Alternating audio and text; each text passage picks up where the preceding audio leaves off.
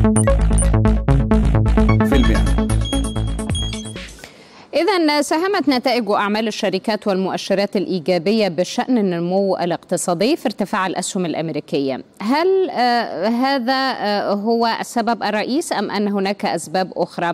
هذا ما سأطرحه على ضيفي رائد الخضر رئيس قسم الأبحاث في مجموعة أكويتي للخدمات المالية.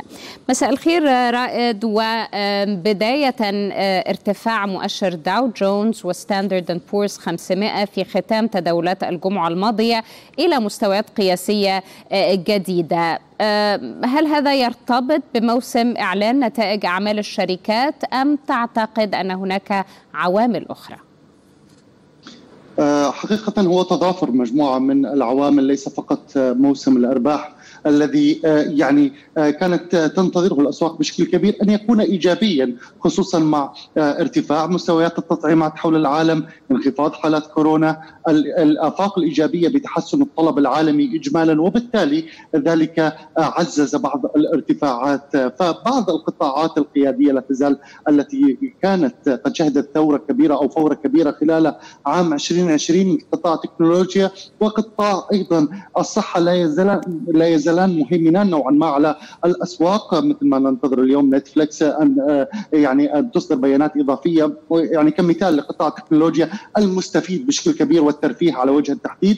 أعتقد أنه المقومات الموجودة في السوق حاليا إضافة إلى التضمينات التي أظهرها الفدرال الأمريكي بأن السياسة التحفيزية السلسة السهلة القروض الرخيصة ستبقى مستمرة لفترة أطول وذلك على الرغم من أنه التضخم قد يرتفع حقق دفع إيجابي للمؤشرات الأمريكية كمؤشر داو جونز ومؤشر S&P 500 كلاهما يحققان الأداء الإيجابي. على الرغم من أنه يوم أمس واليوم كان في عندنا بعض التلكؤ أو التراجع بعض الشيء في هذه المؤشرات وهذا أمر طبيعي نتيجة عمليات جني أرباح واسعة النطاق لأنه لسه عم نزور historical highs أو قمم تاريخية على كلا المؤشرين وهذا يعتبر يعني فرص إيجابية بالنسبة للمستثمرين لخطف وجني الأرباح بعض الشيء وذلك يسبب التراجعات الآنية ولكن الاتجاه العام الصاعد لا يزال مدعوم بالعديد من العوامل على رأسها. التضخم المرشح للمزيد من الارتفاع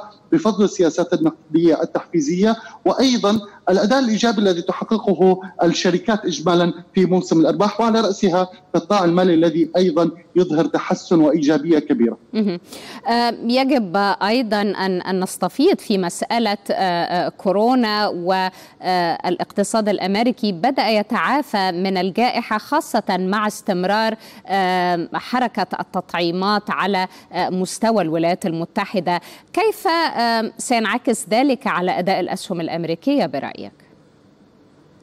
يعني أعتقد يعني بدأ يظهر لدينا بوضوح الارتباط الفعلي بالرغبة بالمخاطرة من قبل المستثمرين بحالة الإيجابية التي تكتنفها الأسواق بما يتعلق بالتوسع في التطعيمات انخفاض عدد الحالات العالمية في كورونا إعادة فتح الأسواق وبالتالي عودة القطاعات التقليدية للارتفاع مجددا بنتيجة التفاؤل بالفترة المستقبلية. وبدأنا نظهر هذا الأمر. بعض الدول الأوروبية التي بدأت تخفف نوعا ما من الإجراءات الاحترازية والعودة مجددا لفتح الاقتصاد بشكل أكبر وبالتالي ذلك يحرر الأسواق عموما. ولكن النقطة الأبرز اللي أنت عم تتفضل فيها هي أنه هل هذا الارتباط مستمر إلى فترة ممتدة أطول على الرغم من بقاء هذه الجائحة في الفترة الحالية؟ هذا هو ال- الذي يطمئن المستثمرين لضخ الاستثمارات لفترة زمنية أطول. لاحظنا بشكل واضح ميلهم أكثر إلى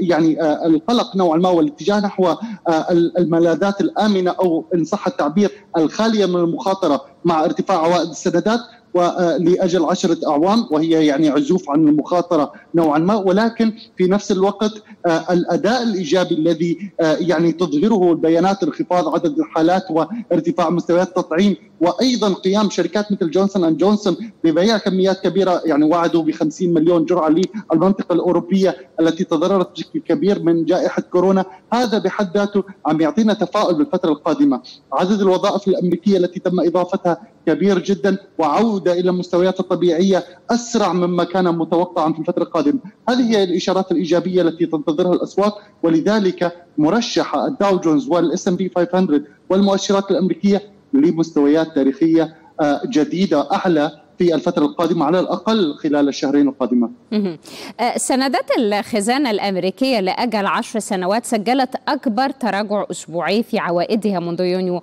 الماضي.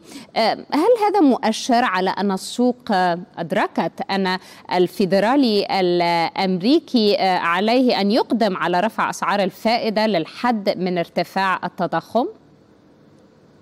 يعني آه، إلى درجة كبيرة الموضوع هو مرتبط بأنه الفدرال الأمريكي مصر على الإبقاء على السياسة التحفيزية لفتره ممتدة أطول. ولكن العامل آه، آه، يعني المستثمر أمام خيارين. إما أن يأخذ المخاطرة وأن يتجه إلى الأسواق وهنا يعني نشهد ارتفاعات أسواق الأسهم. وعندما يشعر بالقلق يبدأ بالبحث عن ملاذات آمنة أو عن عوائد دون مخاطرة. وهنا دلاله على زياده السيوله في الاسواق على زياده آه، السيوله الزائده عن الحاجة والاتجاه نحو آه، مصات السيوله واللي هي عوائد أو السندات ذات الآجال الطويلة نسبيا. بدأ انخفاض عوائد السندات الأمريكية هو إشارة ضمنية على انه الأسواق نوعا ما يوجد هناك فرصة بديلة موجودة في السوق ولذلك آه، يرغبون بالمخاطرة. التراجعات المؤقتة اللي شفناها باليومين الماضيات عودة الاسعار الذهب للارتفاع اذا يوجد قلق نوعا ما وهذا سبب انخفاض عندي عوائد آه، السندات. بالتالي عندي عامل التضخم مهم جدا. عامل ارتفاع عوائد السندات هو مرتبط بنية الفدرال الأمريكي بالابقاء التحفيزية لفترة آه، ممتدة آه، وطويلة وممكن أن تتجاوز عام 2023 لذلك بدأت تستوعب الأسواق هذا الأمر. وانخفضت عوائد السندات هذا عامل إضافة إلى أنه فعلا السياسة التيسيرية الضخمة والقروض الرخيصة بدأت تظهر أو تدفع مستويات تضخم بالارتفاع هذا عامل آخر وبالتالي آه، يعني وجود الرغبة بالمخاطرة من قبل المستثمرين مبرر في الفترة الحالية بالرغبة بأنه يكون في عندي استثمار استثمار ثانيا أنه استهداف مستويات تضخم أعلى في الفترة القادمة. الربع الأول آه، من هذا العام شهد نشاطا كبيرا في الطروحات من خلال الشركات آه، شركة الاستحواذ ذات الغرض الخاص، آه، كيف استفادت السوق من ذلك؟ يعني هذا يعتبر الاستثمار السهل نوعا ما. عندنا سيولة فائضه فعليا في الأسواق وسيولة بنتيجة القروض الرخيصة. يتم توظيفها إلى أسهل أنواع الاستثمار وهي الاكتتاب بشكل مباشر وارتفعت عندي آه، يعني الطروحات في العام 2021 بالربع الأول بما يقارنه مع نفس العام من العام الماضي 2020 بحوالي آه، يعني من 157 إلى حوالي 170 آه، نحن عم نتحدث مليار يعني هذا يعتبر رقم نوعا ما كبير. لكن النقطة الأبرز هي انفتاح الأسواق أو عودة فكرة الاستحواذ وفكرة الاكتتابات وفكرة الطروحات الجديدة مع العام 2021 مع انحسار الآثار السلبية لكورونا وكوفيد 19 على الأسواق بشكل عام ونظرة مستقبلية أكثر تفاؤلا في الفترة القادمة.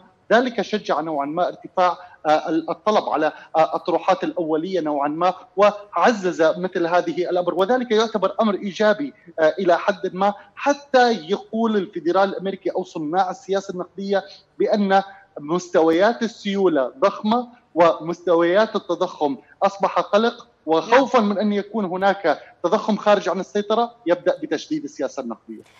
رائد الخضر رئيس قسم الأبحاث في مجموعة أكويتي للخدمات المالية. شكرا جزيلا على مشاركتك معنا.